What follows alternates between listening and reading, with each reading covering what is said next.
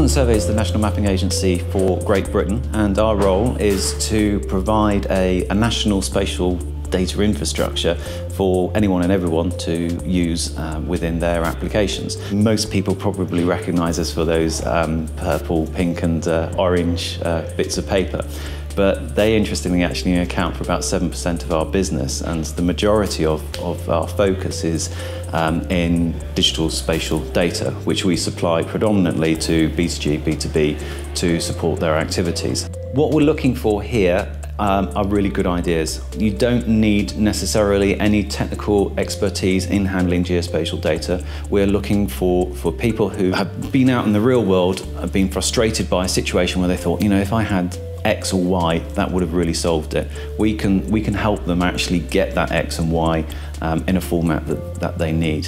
For this challenge, we we want to focus on, on the mobile um, and how people are going to interact with 3D within that um, rather small environment. The markets, you could say, has been well served by little blue dots showing your location. What is the extra value that someone will have from, from having that, that 3D immersive environment being given to them? So that's kind of on the, the B2C side. On the B2B, we're also quite keen to explore opportunities there that uh, companies might have in being able to uh, track their assets um, in 3D, for example, um, perhaps combining it with some sort of um, augmented reality.